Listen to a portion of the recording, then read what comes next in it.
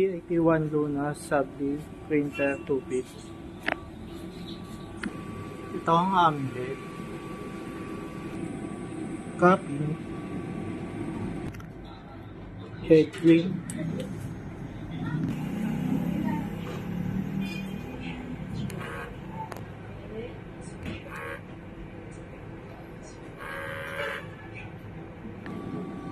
Punas ng wiper at capping. Nozzle test.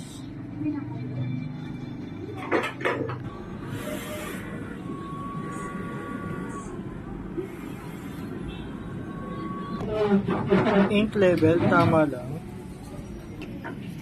Waste tank natapon kahapon. ABR. Ang aking stock ng ink ay sakto lang.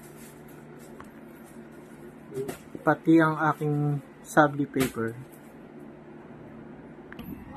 Consumable po, naka-consume kami ng tatlong roll ng sabli paper. Sabli black, yellow, cyan, magenta. Ito naman po ang aking daily checklist.